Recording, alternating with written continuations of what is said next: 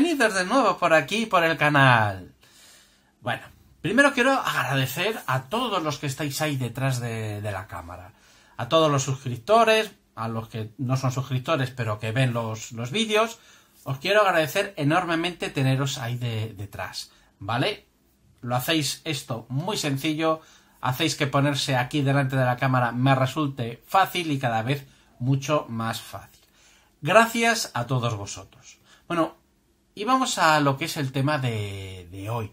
Hoy os quiero volver a hablar sobre el Hyundai Ioniq. Este vehículo, este coche, esta virguería de, vehículo, ¿vale? Pues ha conseguido un nuevo hito. Bien es cierto que no ha sido el eléctrico puro, sino ha sido el híbrido, el que ha conseguido, pues en este caso, las cinco estrellas del Asian NCAP la variante asiática, pues de lo que aquí en Europa se llama Euro NCAP, ¿vale? Y en otros países pues tienen otros nombres. Por una ha conseguido las cinco estrellas. Y es que esta máquina la ha salido a Hyundai redonda, ¿vale? Es decir, es que Hyundai, bueno, pues eh, ha puesto toda la carne al asador, bien, mal, mal, bien, y bueno, pues nos ha dado un producto excepcional.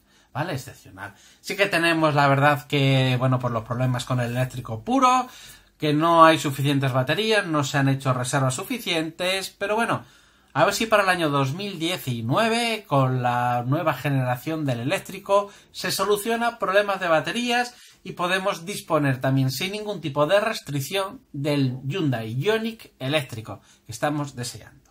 Y si el Hyundai eh, híbrido ha conseguido las 5 estrellas, pues el eléctrico no tiene que andar muy desparejado tampoco de, bueno, pues de su hermano, el, híbrido, ¿vale?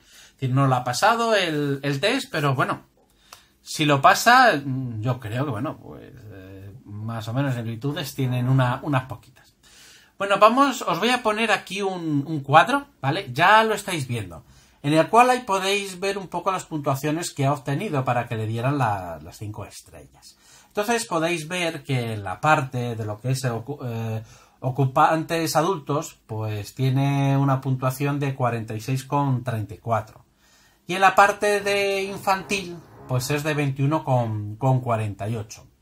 ¿Vale? Luego sí que tenemos al lado, pues de los sistemas de seguridad y demás, que ha tenido también una puntuación muy buena de 24,17 y en total le dan 91,98. Es decir, que con eso se consigue las 5 estrellas en el Asian Cup.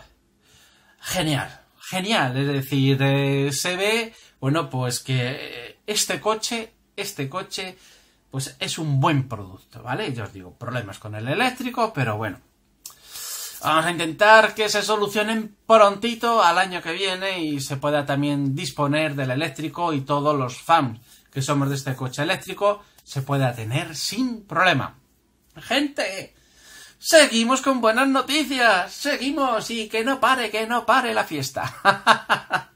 Gente, vuestras opiniones aquí abajo, ¿qué os parece? Como siempre, si os gustan los vídeos que hacemos, pulgar arriba de me gusta suscribiros al canal para no perderos ningún vídeo, botoncito, campanita, todos los botones que hagan falta, hombre. Y dentro del canal, en nuestra mano está el poder hacer de este un mundo mejor. Gente, nos vemos mañana. Buenos que os vigilo. Hasta luego.